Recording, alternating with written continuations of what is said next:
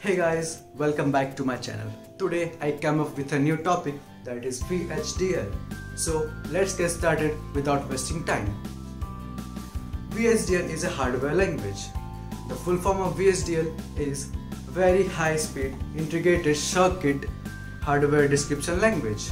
The VHDL is works for only and only digital IC. It does not work for analog IC that is we cannot perform any program for op-amp and other analog ICs.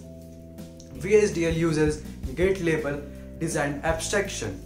VHDL is developed by Department of Defense by US in 1980. The mainly difference of hardware language and software language is that VHDL is concurrent language and is, it is also a synthesizable. Some companies which, which provide software that run VHDL program are Xilinx, Altera, Modellism, etc. Some VHDL capabilities are it is case intensive language. It is also a vendor independent language that is if we run any program in Xilinx we can just simply copy and paste it to the other software that is like Altera, Ultra then we can run simply without any problem. It supports simulation that is in absence of real system we can also perform it in virtual by making that program.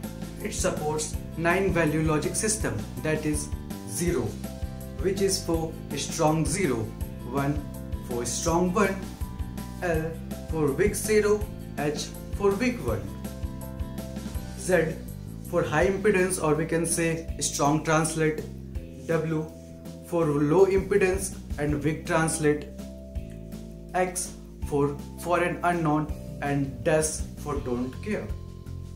Now let's come how we can perform or program the structure.